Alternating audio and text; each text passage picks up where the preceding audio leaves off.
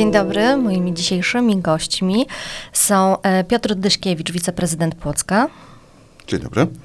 I Maja Syska-Żelechowska, dyrektor Wydziału Kształtowania Środowiska w Urzędzie Miasta Płocka. Dzień dobry. A spotkaliśmy się tutaj w odpowiedzi na e, moje wywiady poprzednie z członkami grupy Płock dla Drzew i porozmawiamy właśnie o tym, jak to z tą zielenią, drzewami w Płocku e, jest. Mm, panie prezydencie, jakie przepisy e, tutaj w Płocku określają obecnie zagadnienia dotyczące ochrony przyrody? Tak, no, przede wszystkim mówimy tutaj o zarządzeniu prezydenta z roku 2021 w sprawie ustalenia zasad ochrony zieleni przy planowanych i realizowanych e, inwestycjach. To jest dokument, e, który wtedy rzeczywiście był konsultowany. Hmm, poprosiliśmy również tutaj o współpracę panią e, profesor e, Sochocką.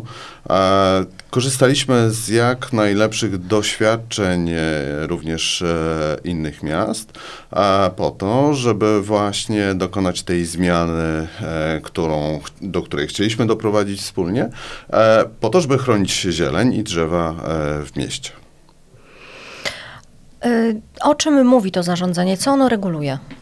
Ono pokazuje, krótko mówiąc, y, w jaki sposób należy e, postępować w momencie, kiedy prowadzona jest inwestycja, a e, w jaki sposób dochodzi do kolizji z istniejącą zielenią, czy też e, istniejącym drzewem, jak należy je chronić, w jaki sposób postępować, w jaki sposób też no, prowadzić całą tą inwestycję, pozwalając na to, żeby jak najmniej ingerować e, w istniejącą przyrodę. Tutaj członkowie grupy Płock dla Drzew e, zarzucali podczas e, tego wywiadu, że te przepisy są i są fajne, są najlepsze, ale nie są respektowane, nie są w żaden sposób kontrolowane i nadzorowane. Co Państwo na to? One, musimy pamiętać o tym, że nasze zarządzenie jest stosunkowo młodym zarządzeniem. I tutaj e, ten okres wdrażania tego zarządzenia jest niezmiernie istotny, dlatego że e, wiele inwestycji, które jest prowadzone e, już dzisiaj albo będą prowadzone za chwilę, były przygotowywane jeszcze przed powstaniem tego zarządzenia. I oczywiście staramy się je dostosować, natomiast są wcześniejsze projekty, które nie uwzględniały tych rozwiązań i to stanowi rzeczywiście bardzo e, duży problem, ale tak jak mówię, e, i wykonawcy, i e, inwestorzy są e, zobligowani do tego, żeby stosować to zarządzenie. A w jaki sposób Państwo kontrolujecie to, czy są stosowane te zasady? No tutaj, y, jeżeli chodzi o samego inwestora, no to jest po mm, stronie inwestora też dbałość o to, żeby przestrzegać tego zarządzenia. Mamy też inspektorów, e, którzy z ramienia Urzędu Miasta, inspektorów zieleni, którzy też takie kontrole e, prowadzą. E, wśród wymienianych inwestycji była ta przy ulicy Kościuszki. E, zwracano uwagę właśnie na nieprawidłowości, które tam miały miejsce wobec e, jednego drzewa to na pewno, a, a nie wiem, czy kilku. My wiemy o, o, tym jednym, bo to też zostało zgłoszone do nas. Natomiast właśnie to jest ten e, klasyczny przykład e, inwestycji, która była przygotowywana e, jeszcze przed wprowadzeniem e, zarządzenia. E, natomiast e, no, tutaj doszło do sytuacji, gdzie nie trzeba było wtedy przygotowywać inwentaryzacji czy tych operatów dendrologicznych, a i to powodowało, że nie mieliśmy wiedzy na temat stanu tych drzew. E, dzisiaj e, te drzewo, mimo tego, że rzeczywiście tam doszło do pewnej, pewnego rodzaju ingerencji, a to, to, to i tak e, jakby nie powoduje, bo samo drzewo już dużo wcześniej e, było drzewem e, no jakby obumarłym, prawda? Czy w złym stanie zdrowotnym Z... zawierało owocniki grzybów, tak? I, i, I taką dosyć rachityczną koronę niestety i właśnie brak e, tej dokumentacji e, badania stanu zdrowotnego, czy określenia stanu zdrowotnego drzew, czyli operatu dendrologicznego, o którym pan, pan prezydent powiedział, no, no spowodował, że e, nie zostały podjęte jakby wyprzedzająco jakieś może drastyczne, no nie chcę powiedzieć zmierzające może do usunięcia nawet tego drzewa kroki. Natomiast w trakcie jakby realizacji prac odkryto system korzeniowy i tutaj rzeczywiście do uszkodzenia korzeni doszło, ale do uszkodzenia korzeni włosowatych, które powiedzmy e, odbudowują się w jakimś tam e, szybkim czasie. Natomiast te korzenie główne szkieletowe nie zostały uszkodzone. No ale to akurat drzewo mm, niestety jest w bardzo złym stanie zdrowotnym i y, pewnie będzie być może usunięte, tak, jeżeli... Tak, ale to pokazuje również ten proces, jak, który jest zresztą niełatwy, Mhm. gdzie i projektanci, i wykonawcy e, no, muszą zaakceptować i też wdrożyć się do przestrzegania e, tego zarządzenia i tych przepisów, które e, tutaj wprowadziliśmy w mieście. Podczas rozmowy z członkami grupy Płock dla Drzew był podnoszony też e, transport, który wzbudza duże zainteresowanie, transport na nową inwestycję kompleksu Olefin 3. Mm, No jest to transport e, ogromnych elementów, e, co spowodowało konieczność wycięcia e, drzew. E, Kto weryfikował tę konieczność i czy faktycznie jest tak, jak e, podnoszono, że no tak, wycinane są drzewa, a co z latarniami i znakami? No czy te drzewa na pewno musiały być wycięte? W jaki sposób Państwo to weryfikowaliście? No taki wniosek przede wszystkim był e, przedstawiany do Urzędu Miasta, ale ponieważ to są nasze tereny, to tę- ta decyzja była wydawana nie przez Urząd Miasta, tylko przez e, Urząd Marszałkowski i też Urząd Marszałkowski prowadził e, taką no, swoistą weryfikację e, w terenie, tak? Czy e, rzeczywiście te drzewa są zasadne do e, wycinki. Ja chciałbym tutaj jakby podkreślić to, że no, ten transport trwa. E, Różne gabaryty są dostarczone na nadbrzeże i wiemy, że w najbliższym czasie e, będą dopływały te największe. A, I ta wycinka jest przystosowana do transportowania tych największych e, gabarytów. E, w związku z tym e, doszło do usunięcia drzew. Tam też oczywiście musiały być zachowane e, strefy bezpieczeństwa e, przy transporcie. Natomiast jeżeli mówimy o tych latarniach, które pozostały, no to od e, samego nadbrzeża przez ulicę Szpitalną Mhm. te latarnie zostały zdemontowane. A, a dalej zostały też ustawione latarnie, które są Takie latarniami tymczasowe. tymczasowymi.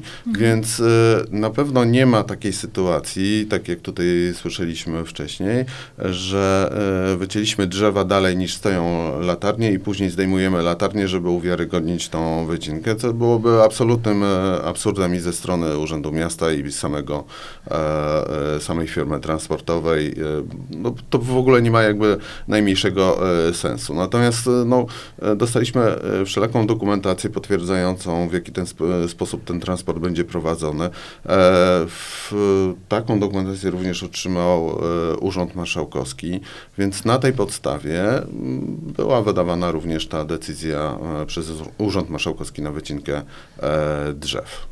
Analiza techniczna była wykonana przez firmę Sarens, tak, czyli dostosowana przejazd, jakby szerokość ulicy, możliwość przejazdu do gabarytów tutaj tych transportowanych elementów. I to było zrobione naprawdę bardzo rzetelnie, bo to nie chodzi tylko o przejazd pro, w prostej linii, tak, tylko że to są, to trzeba wyjechać, tak, chociażby z nabrzeża, to są jakieś skręty, nie wiem, no, no to są Ale ogromne... odpowiedniej wysokości również tych Wysokości. transportów. są różne transporty, nawet nie chodzi tylko o długość, bo rzeczywiście gdzieś tam w doniesieniach medialnych pojawiła się taka informacja, że to będzie transport ładunku o długości 120 metrów. Oczywiście nam jest nie wiadomo nic o takim ładunku. Najdłuższy, y, o którym wiemy, to jest y, ładunek mm, o długości 94 metry. To jest taki największy gabarytowo element instalacji Olefin.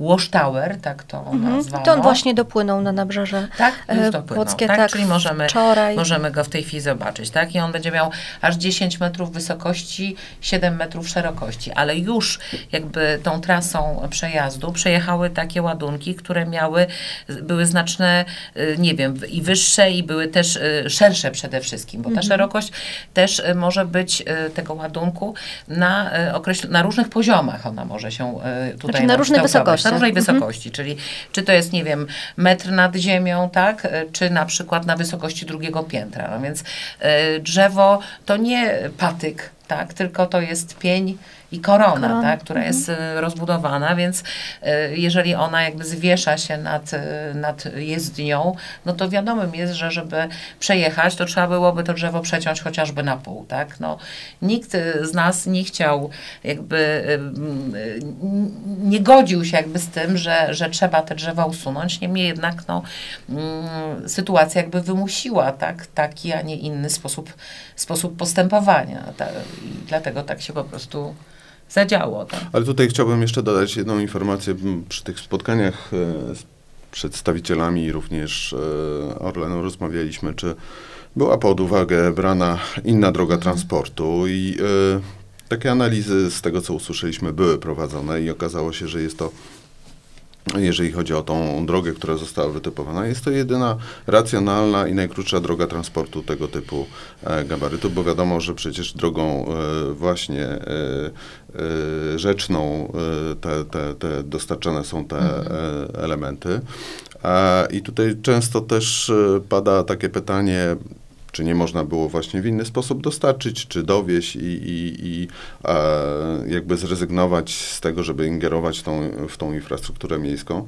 E, pytaliśmy o to i e, otrzymaliśmy odpowiedź, że było to bardzo skrupulatnie e, oceniane e, i stąd e, decyzja o takim transporcie, a nie innym.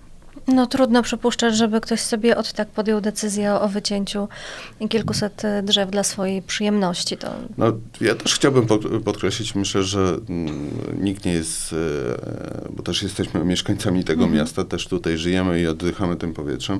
Nikt z nas e, pewno nie jest z tego tytułu do końca zadowolony, natomiast no, takie mm, jakby oczekiwanie, jeżeli chodzi o prowadzoną inwestycję, powstało.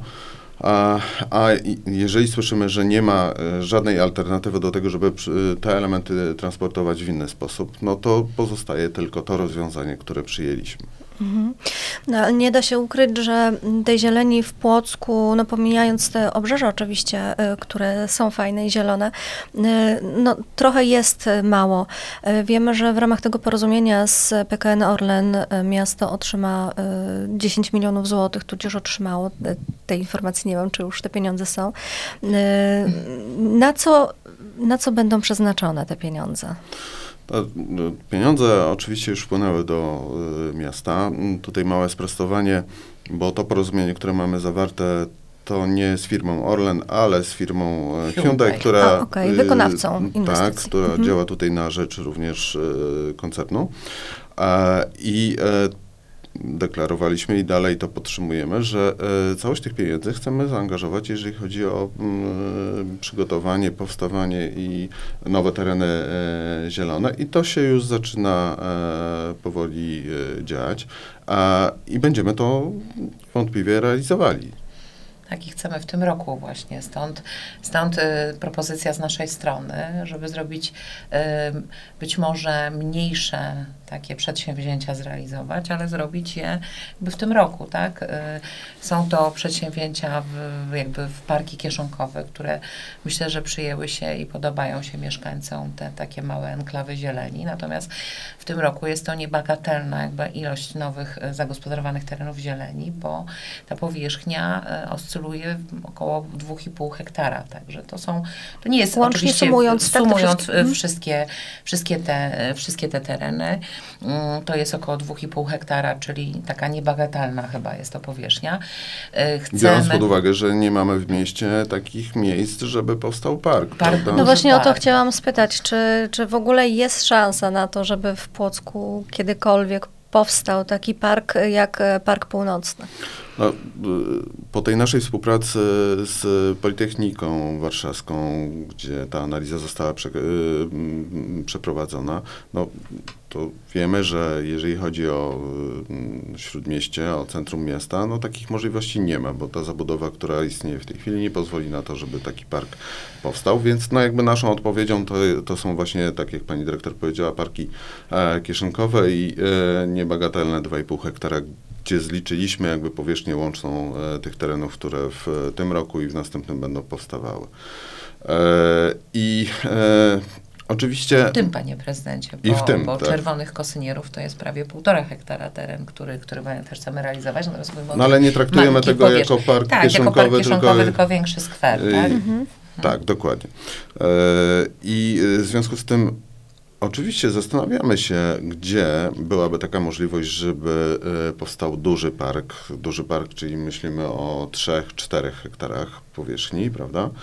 E, I pewne analizy e, prowadzimy. Dzisiaj jeszcze za wcześnie, żeby na ten temat e, rozmawiać, bo to niewątpliwie będzie się wiązało z wykupem gruntów, a to jest, jak doskonale wszyscy wiemy, uzależnione od wielu czynników własnościowych, czy uda się to, e, te, dokonać takich wykupów, czy też nie. Na to są też odpowiednie środki potrzebne, więc e, oczywiście, e, że tak powiem, koncepcyjnie i planistycznie do tego się przygotowujemy.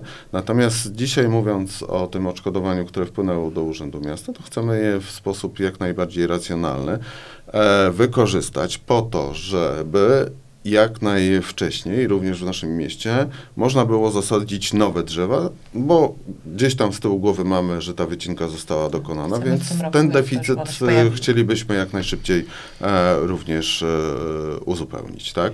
No ale tutaj e, pani dyrektor mówiła o parkach kieszonkowych, mówimy o nowym terenie zielonym na ulicy Kosynierów, no ale e, również e, pewnego rodzaju uporządkowanie znanych terenów zielonych, ale które wymagają tego, chociażby park e, na górkach, prawda?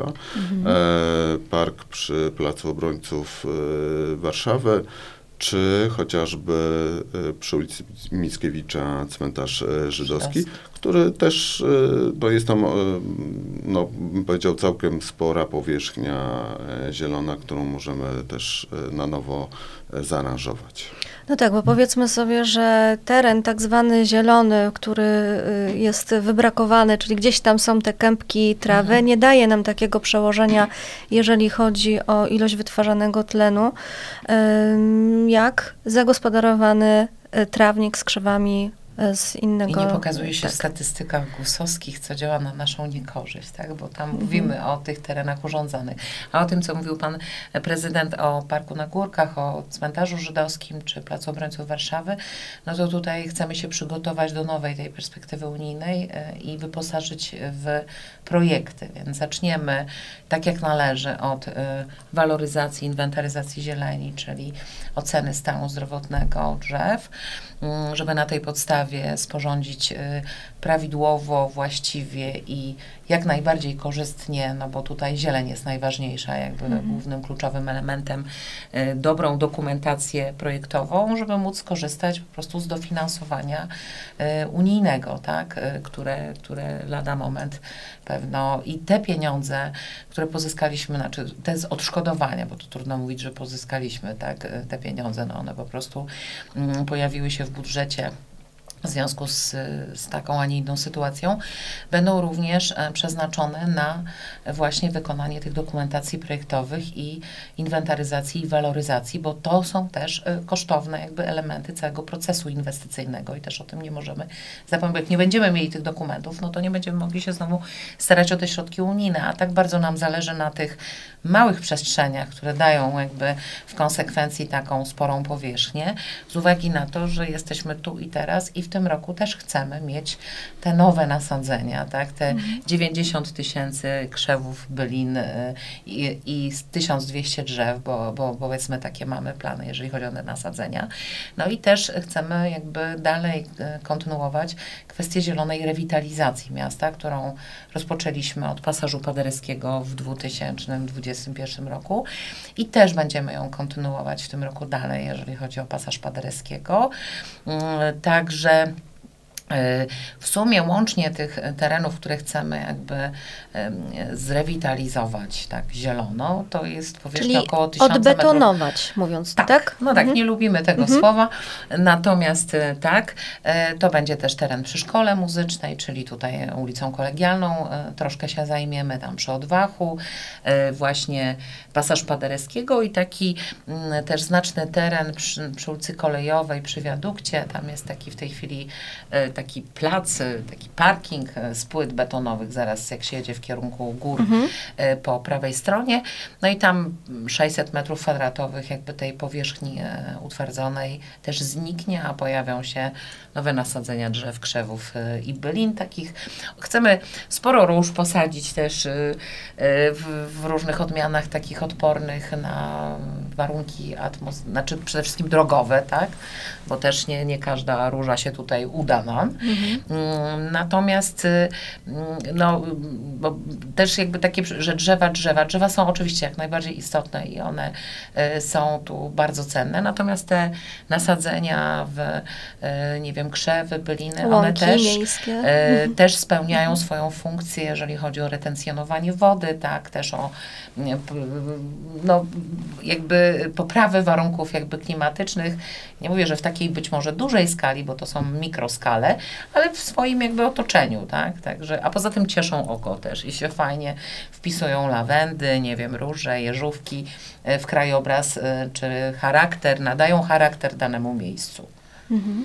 Ale tutaj, jeżeli jeszcze mogę dodać e, w kwestii tej rewitalizacji, bo tak to trochę mm, ja przynajmniej postrzegam, swego czasu przekazałem taką informację, że w obrębie tutaj Starego Miasta w pasach drogowych mamy około 370 drzew i przy okazji no, takiej współpracy z e, jedną ze studentek Politechniki Warszawskiej, która mhm. pisze na ten temat swoją pracę mm, inżynierską. E, no, udało się zidentyfikować, że dałoby się dosadzić kolejne ponad 200 drzew. To oczywiście musiało być poprzedzone w, no, taką gruntowną analizą, bo Wydaje nam się w taki prosty sposób, że można postawić drzewo, bo jest wolne miejsce. Otóż e, trzeba mieć tą świadomość, że w takiej e, tkankę, taka tkanka miejska kryje pod, e, no, że tak powiem, dużo, dużo niewiadomych i te wszystkie sieci podziemne, które gdzieś tam przebiegają pod naszymi chodnikami, no, nie zawsze dają taką możliwość e, nasadzenia tych drzew. My analizując właśnie tę wszystką, tą całą infrastrukturę, E, biorąc pod uwagę również e, te czynniki związane z bezpieczeństwem ruchu, ruchu drogowego, tak, czyli tak zwane trójkąty widoczności, właśnie z, po tych analizach wyszło nam, że możemy dosadzić kolejnych ponad 200 drzew, ale chcę zwrócić właśnie uwagę na to, że no, bardzo często mieszkańcy naszego miasta pytają, dlaczego Państwo nie chcecie na, nasadzić kolejnych drzew czy, czy krzewów w danym miejscu to wynika z wielu czynników, e, które my musimy po prostu przeanalizować i się do nich e, odnieść, bo to jest związane również z bezpieczeństwem, ale tak jak powiedziałem, również z tymi możliwościami, jeżeli chodzi o infrastrukturę podziemną, czyli bardzo istotna kwestia. Czy nie jest to tak proste, jak nam się pozornie wydaje? Nie jest e, istotnie proste, bo no tak jak mówię, często wydaje nam się, że jest wolne miejsce i tutaj mogło e, zostać nasadzone kolejne drzewo, e, a mamy na przykład gazociąg, a w przypadku gazociągu absolutnie e, wykluczone są jakiekolwiek mhm. nasadzenia ze względów bezpieczeństwa. Poza tym to jeszcze też jest kwestia tego, że, że te, ta infrastruktura, która jest w tych, szczególnie tutaj w obrębie Starego Miasta, zresztą nie tylko tutaj, tak, też jej stan techniczny jest taki często niewiadomy, tak, bo, bo ona była budowana w różnych latach wcześniejszych i tak na dobrą sprawę ciężko jakby teraz stwierdzić, w jakim ona jest stanie technicznym, na jakiej jest głębokości. I sami jakby właściciele tychże mediów, tak, też mają problem z identyfikacją i czy z takim przesądzeniem jednoznacznym, że tak, w tym miejscu można na przykład posadzić drzewo z zastosowaniem ekranów przeciwkorzennych, bo takie rozwiązania są i my również je powiedzmy stosujemy, tak. Y, chcieliśmy na w szerszej skali, natomiast no, spotkaliśmy się nawet w roku ubiegłym z właścicielami mediów tutaj naszymi płockimi, głównie z Energią, bo ona jest jakby najbardziej kluczowa i najwięcej tej, tej infrastruktury energetycznej w mieście jest. Wydawało się, że doszliśmy w pewnym sensie do, do porozumienia, niemniej jednak no, dostaliśmy taką odpowiedź teraz po kilku miesiącach, że raczej, raczej nie wyrażają zgody na to, żebyśmy w obrębie właśnie ich infrastruktury sadzili drzewa właśnie z tego powodu, o którym powiedziałam, że to są w, w, w dawnych latach jakby wykonane te, te, ta infrastruktura, te sieci czy, czy, czy przyłącza, no, no różne tam historie. I nie jest znany tak naprawdę stan techniczny. I obawiają się też właśnie właściciele mediów tej, tych spraw awaryjnych, tak, bo wtedy trzeba usunąć drzewo, no i może być problem. Natomiast Myślę, że to jest początek jakby tutaj tychże rozmów i e, w miarę jakby rozwoju, czy przebudów, czy, czy wymian, tak, e, e, tychże sieci, to się będzie zmieniało, bo, bo są różne rozwiązania, które można jakby w tej chwili stosować, rury Arota, tak, sobie powiedzmy tam układać gdzieś tam, żeby, mhm. żeby powiedzmy potem to nie ingerowało jakby w zieleń, natomiast jest to na pewno długotrwały proces i jak ktoś zobaczy gdzieś wolne miejsce przy ulicy, to nie znaczy, że to jest jakby niedbalstwo ze strony miasta, które, nie wiem, zapomniało chciało tam posadzić drzewo, albo może nie chce, tylko to wynika z wielu jakby y, czynników. czynników mhm. tak. No tak, my żyjąc w erze cyfrowej zapominamy o tym, że mhm. nie wszystko jest w komputerze, nie wszystko jest zinwentaryzowane i y, no nie o wszystkim też wiemy, zwłaszcza jeżeli chodzi o infrastrukturę podziemną, która ruszana jest praktycznie tylko podczas inwestycji. Mhm. Ja mam ostatnie pytanie, jeszcze nawiązując do tych wywiadów, o których wspominałam. Y, czy macie Państwo jakiekolwiek przełożenie na działalność spółdzielni mieszkaniowych y, i wspólnot mieszkaniowych w zakresie ochrony zieleni? No, e, powiedział, że... Reglamentacyjne, że tak powiem. Jak mhm. składają wniosek o usunięcie drzew, tak? Czy, nie wiem, niszczą w jakiś sposób drzewo, to wtedy ewentualnie kwestie karne, tak? Ale tu weszłam słowo panu prezydentowi. Nie, no ja, oczywiście nasze możliwości są bardzo ograniczone, prawda, bo no, są właścicielami terenu i to ja rozumiem, że nie tylko chodzi o wnioski o wycięcie drzew, ale jakby zagospodarowanie tego terenu, mm. które jest po e, stronie spółdzielni. Ja myślę, że też ta optyka powoli się zmienia, tak, bo jakby otoczenie też wymusza inne spojrzenie na kwestie zieleni.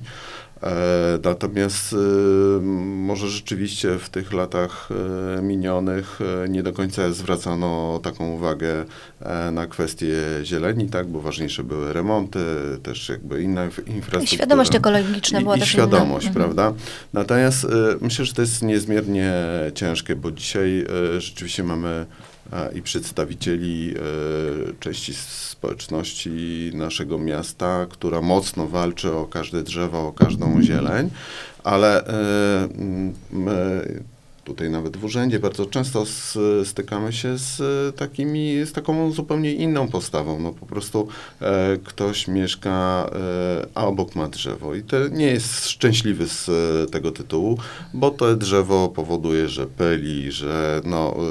E, za ciemno, że, że zaciemnia i tak dalej, i tak dalej. I to jest indywidualne podejście tych osób. Z drugiej strony ci, którzy bronią tych drzew, mówią, że no, jakby nie uznają tych argumentów, tak?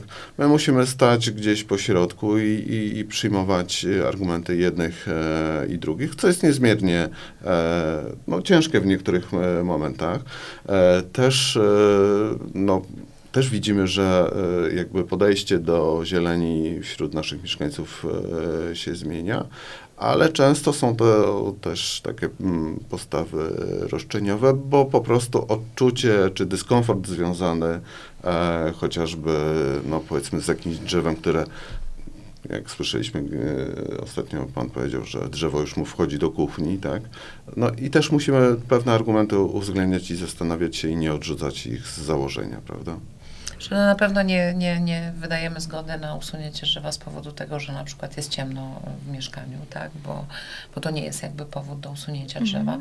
Często jak właśnie tu pan prezydent powiedział, że zbyt blisko na przykład rośnie elewacji budynku, no to w trakcie jakby tych oględzin, nawet jeżeli wydajemy decyzje odmowne, no to udzielamy takiego instruktażu w kwestii jakby e, korekty korony, bo tutaj to też jest jakby szeroko dyskutowane e, w mediach społecznościowych, że te pielęgnacje są robione źle i wszystko jest robione źle. No rzeczywiście mm, spotykamy się z takimi sytuacjami. Teraz mamy też takie, taką jakby sprawę, sprawę gdzieś tam karną prowadzoną, zresztą, zresztą nie jedną, e, gdzie, gdzie właśnie zbyt y, mocno, no po prostu doszło do zniszczenia, uszkodzenia drzew. Ale to oczywiście Zostało normują. zbyt mocno przycięte, tak? Tak, Korony to- drzew, także... No i mamy taki przypadek i teraz jakby to, to postępowanie będzie się toczyło na, na pewno, bo to normuje tym razem nie nasze zarządzenie lokalne, które nie jest aktem prawa miejscowego. To chciałam powiedzieć, bo to nie jest taki akt powszechnie obowiązujący, bo on nie dotyczy... Czy nie jest to uchwała Rady To Miasta? nie jest uchwała Rady Miasta, to nie może być uchwała Rady Miasta, to jest zarządzenie, które dotyczy naszych terenów miejskich lub też in, inwestycji realizowanych przez podmioty czy osoby trzecie na naszych terenach, tak? Bo nie możemy jakby ingerować w ogródki e, przydomowe i, i, i również inne tereny, bo tak na dobrą sprawę właściciel mm, takiego domu z ogródkiem, e, osoba fizyczna może usunąć drzewo każde, chyba że spełnia ono wymiary pomnikowe albo rośnie na terenie objętym formami ochrony przyrody, a tak to nie mamy prawa e, jakby wnieść sprzeciwu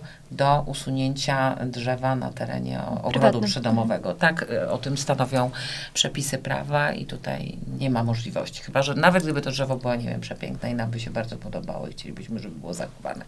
Natomiast jeżeli chodzi oczywiście o tereny mm, spółdzielni, no to mamy prawo tutaj ingerencji i nie podchodzimy do tego tak bezrefleksyjnie, e, jakby, że mieszkańcy chcą, żeby i różnie to się powiedzmy mm, e, dzieje, Kończy. bo, Mhm. bo jakby nie są często zadowoleni z podejmowanych przez nas decyzji, tak? Jeżeli jest wydawana jakby odmowa e, w zakresie usunięcia drzewa. Ale to w takich przypadkach, to co jest ciekawe, to często było tak, że sami mieszkańcy nasadzili te drzewa Tak, ileś teraz- lat do tyłu, Mhm. one po prostu urosły i w tym momencie już zaczynają trochę w ich e, ocenie im e, przeszkadzać. Mhm. No ale niestety, no, No tak, no nasi też pracownicy są wy, wy- wyposażeni w młotki arborystyczne, też w tego, taki, jest ocena ta metodą taką wizualną wykonywana. W przypadkach jakichś takich bardzo kontrowersyjnych mamy możliwość również powoływania biegłych y, w prowadzonych postępowaniach tak, administracyjnych i takie sytuacje też, y, też mają miejsce. Tak. Ja nie mówię, że to jest obligatoryjne, tak, bo to rzeczywiście muszą być jakieś takie kontrowersyjne e, historie, tak, budzące jakieś nasze duże wątpliwości, to wtedy tak, chociaż z takich jakby usług korzystamy w, w przypadku jakby wykonywania analiz eksperckich, tak, e, drzew pomnikowych, e, no też się tym posiłkujemy, nie tylko, bo ja zawsze podkreślam, że wiedza merytoryczna to jest jedna kwestia, a wiedza ekspercka to jest jeszcze e, kolejny jakby e, element, tak? To jeszcze jedno pytanie przyszło do głowy. Y, Czas nam bardzo szybko mija, ale chciałam dopytać, czy każde stare drzewo Mhm. ma wartość taką bardzo dużą dla y, wytwarzania tlenu? Czy to, to jest właściwie też, y, należałoby do tego podejść bardzo, bardzo indywidualnie, tak? No, z reguły y, w zależności od tego, w jakim miejscu to drzewo rośnie, tak? W jakim ono jest y, stanie zdrowotnym, bo to też przecież ma bardzo duże znaczenie. Na pewno drzewo rosnące na y, terenie zielonym, w jakiejś tam przestrzeni parkowej, tak? Nieograniczone w żaden sposób, nie wiem, nawierzchnią betonową, czy jakąś tam infrastrukturą, która gdzieś przebiega w sąsiedztwie, czy pod korzeniami, bo często przecież mm, sieci ciepłociągi, tak, y, przebiegają w, w pobliżu korzeni drzew, które mają ewidentnie negatywny wpływ y, jakby na, na, na, na drzewa. To pewnie tak, takie super zdrowe drzewo gdzieś w jakimś takim e, fajnym miejscu, e, takim przyrodniczo cennym, tak. Natomiast e, wydaje mi się, że drzewa takie, nie wiem, w, w pasach drogowych, które są, e, nie wiem, w jakiś sposób e, na skutek korekty, tak, e, koron, bo, bo to mm, I też trzeba oddziaływania pogodzić- tego i otoczenia. Oddziaływania otoczenia, tak, bo przecież też jest kwestia skrajni drogowej i to nie wynika jakby ze złej woli, czy z, z, nie wiem, chęci niszczenia, czy nieumiejętności wykonywania tej konserwacji, tylko ze względów też często bezpieczeństwa, tak. Poza tym stare drzewa mm, też gdzieś tam zależy. Gdzie, tak, na przykład? W jakichś też przestrzeniach parkowych, nawet jeżeli to są, nie wiem, złamane, jakieś tam uszkodzone, czy jakieś tam powiedzmy pozostałości po tym drzewie, stanowią e, siedlisko takie bioróżnorodności, tak, i one też wskazane jest, aby one e, gdzieś tam w tej przestrzeni e, miejskiej e, były, tak? Nie ma sensu, nie wiem, usuwać, frezować, e, wyrzucać wszystkiego, że tak powiem, do cna, tak? Są takie miejsca, Ja myślę, że gdzie- to jest takie podejście indywidualne, Tak, bo to zależy od też. właśnie usytuowania, od Mhm. pewnego gatunku. E, my też rozmawialiśmy i z panią profesor Sochocką, też są dostępne e, też pewne opracowania, jeżeli chodzi o pana w, doktora, inżyniera krajobrazu Wojciecha e, Bobka, jeżeli dobrze pamiętam nazwisko, e, w tej kwestii właśnie mówiącej, że no, to nie jest jakby e, tak oczywiste, że zawsze stare drzewo produkuje najwięcej e, tlenu, bo e, może być zupełnie e, odwrotnie. I ja tutaj nie mówię, teraz nie chcę jakby... m, Żeby, Podważać jakby, Tak, przypisano mi taką tak. tezę, że stare drzewa nie produkują tlenu, w związku z tym Tak, są tak, niepotrzebne. tak, od tego, absolutnie nie, bo podejrzewam, że zaraz, e, że tak powiem, taka interpretacja mojej wypowiedzi może się pojawić. Tylko mówię to na podstawie osób, które naprawdę się z tym, e, na tym się e, znają, że to nie zawsze wygląda właśnie w ten sposób, jak e, wydawałoby nam się, że duże drzewa, dużo tlenu. Tak? Mhm, Nie jest to zero-jedynkowe. Tak jest. W każdym przypadku Mhm. oceniamy być indywidualnie. tak. No to tak, y, jeżeli jeszcze mogę po- poruszyć taką kwestię właśnie, która się też pojawia często, e, kwestii e, przesadzania starych drzew, tak? To też jest bardzo, i o tym mówiliśmy, bardzo skomplikowana sytuacja, bo e, drzewo należy przygotować do takiego procesu. 3-4 lata wcześniej na przykład, tak, żeby to miało 3-4 sens. lata wcześniej. E, później e, musimy te drzewo bardzo szczególnie pielęgnować i może się okazać, że ono po iluś latach e, jednak Nie przetrwa. nie, nie przetrwa, nie przyjmie się. To też jest obarczone dużym ryzykiem, a koszty y, są ogromne. I to też nam wyjaśnia inwestycje y, przy olefinach, przygotowanie do takiej inwestycji pod kątem przesadzenia 400 y, No z pasa drogowego drzew ulicy z Zglenickiego, pasa- bo to zupełnie No niemożliwe. tak, no tutaj słyszymy takie argumenty, że w latach 70. dwa drzewa zostały przesadzone. No nijak to się ma do sytuacji, y, którą mieliśmy teraz, bo takiego okresu przygotowa- na przygotowanie tych drzew absolutnie e, nie było, to po pierwsze. E, dwa, no, tym one w skrajni praktycznie drogi rosły, także przy samym, jakby przy samej jezdni. Więc tak, ten system korzeniowy gdzieś tam był gdzieś tam w wchodzący... rowie, który był konserwowany jakby po stronie starej y, białej, tak? Mhm. Mam nadzieję, że nie, Więc nie, przy- nie, nie były uszkodzone te korzenie, ale też tego nie jestem w stanie No tak, ale przygotowanie takich korzeni No. do tego drzewa do, Mhm. do przesadzenia w takich warunkach jest wręcz no, niewykonalne. Niemożliwe. Mhm. No tak się wszystko zbiegło w tym roku, że tyle tych inwestycji po stronie Orlenu, jakby i Olefiny, i kolektor K2. Aczkolwiek chcę tutaj podkreślić, że nie jesteśmy też Mhm. przeciwni, e, jeżeli będzie taka potrzeba i być może kiedyś e, m, będzie m, no, jakby sytuacja związana z przesadzeniem, że tego nie, nie będziemy stosowali, Mhm. tylko musimy pamiętać, że to jest e, i czas, i przygotowanie, i na pewno duże, duże koszty. Przesadziliśmy, panie prezydencie, wykonawca Castorama przesadzała O, właśnie, dwa o drzewa, tym tylko że zapomniałem. to nie były, to były młode drzewa, no kilkuletnie, tak? Mhm. E, przy wjeździe na parking starostwa. I te drzewa drzewa zostały, to były dwie lipy bardzo ładne. No tak, ale musimy pamiętać, że czym, czym starsze drzewo, tym Tak, większe no, ryzyko i oczywiście większe koszty. drzewa, no. Mhm. Dużo większe koszty, tak. Znaczy, to nawet już abstrahując od kosztów, to musi być po prostu realne.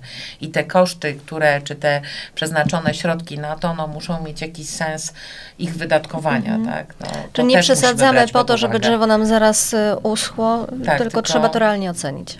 Mhm. Znaczy w, przy okazji jakby budowy chyba Filharmonii y, y, i tworzącego się w tej chwili projektu są wskazania co do przesadzenia niektórych y, powiedzmy drzew, które tam rosną, nie, wbrew też temu, co opinia publiczna, że wszystko tam i te dęby też, które tam są, Dlatego to mówię, wszystko że- wytniemy. co że- nie jest to prawdą. Że e, takie rozwiązania też dopuszczamy i w przyszłości niewykluczone, że tak e, będziemy je stosowali.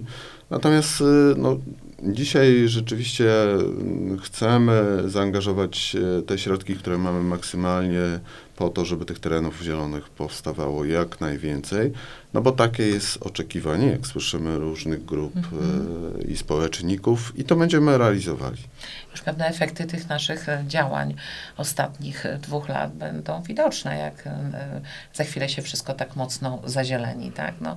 Jestem ciekawa efektu, efektu tego ronda przy zoo, tak, tych słoni, które przez, no, tam sporo tych nasadzeń zieleni w roku ubiegłym się pojawiło na wiosnę, więc miejmy nadzieję, że teraz nasz też bę- bę- będzie cieszył widok tych nasadzeń.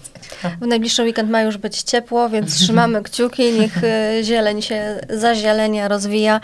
E, Jak widać, e, tych tematów związanych z zielenią, z przyrodą w Płocku jest bardzo wiele, dlatego myślę, że to nie jest nasze ostatnie spotkanie. Ja już w tym momencie zapraszam, a dziękuję Państwu za rozmowę. Moimi gośćmi byli Piotr Dyszkiewicz Dziękuję bardzo. i Maja Syska-Żelechowska. Bardzo dziękuję. Dziękuję za rozmowę. Dziękuję bardzo.